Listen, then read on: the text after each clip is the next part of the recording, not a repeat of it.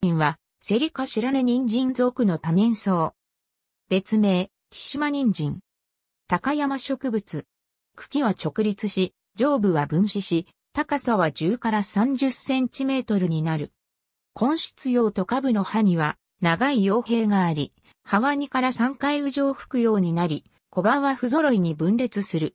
産出吹くようとはならない。茎につく葉は五星し、葉柄の基部が赤みを帯びた、鞘状に膨らむ。夏季は7から9月。茎長か分子した先端に小型の副産系果状をつける。花は小さく、白色の五弁花で、花弁は内側に曲がる。副産系果樹の下にある双方辺は、線形で1から2個、小果樹の下にある小双方辺は、線形で数個ある。果実はやや扁平で、卵形、または長楕円型になる。油管は文化の表面側の角、セミゾ下に1個、文化が接し合う合成面に2個ある。日本では北海道、本州中部以北に分布し、鉱山の日当たりの良い草地、岩れ基地、砂れ基地などに生育する。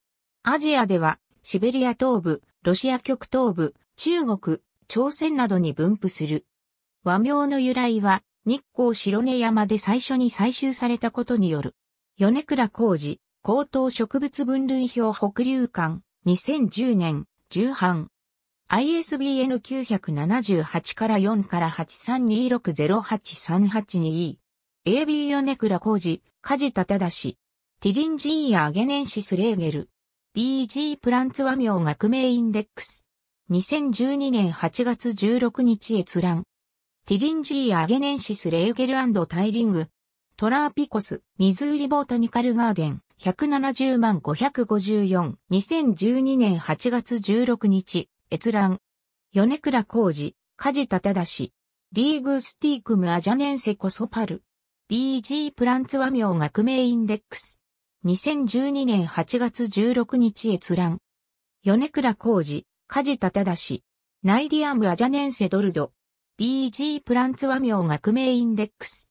2012年8月16日閲覧。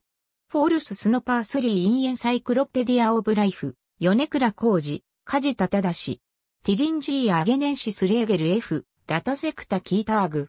BG プランツ和名学名インデックス。2012年8月16日閲覧。米倉浩司、梶田忠 Tilingia ajanensis Regel f、pectinata Kitag。